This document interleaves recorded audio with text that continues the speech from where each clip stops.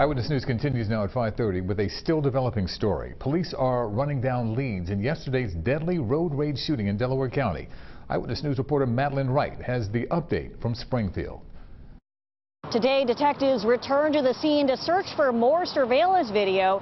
They also put up this electronic sign urging drivers to call 911 with tips. The search is ramping up for the gunman in the deadly road rage shooting in Springfield. Detectives are chasing every lead. We've got some substantial leads, uh, so we are hopeful that we will be soon able to bring the killer to justice. Delaware County District Attorney Jack Stollsteimer says the gunman still has the chance to do the right thing. I would encourage that person uh, and the woman who was actually driving the vehicle, we believe as well, uh, to turn themselves in.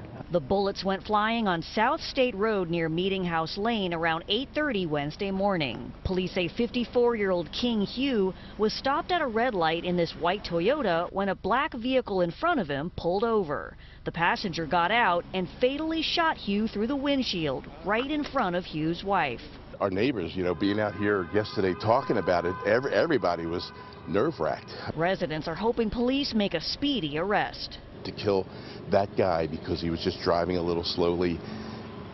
These, these criminals just basically deserve anything they get, the worse, the better. If you have any information on the gunman, that female driver, or the vehicle they were driving, police want you to give them a call. In Springfield, Madeleine Wright, CBS 3 Eyewitness News.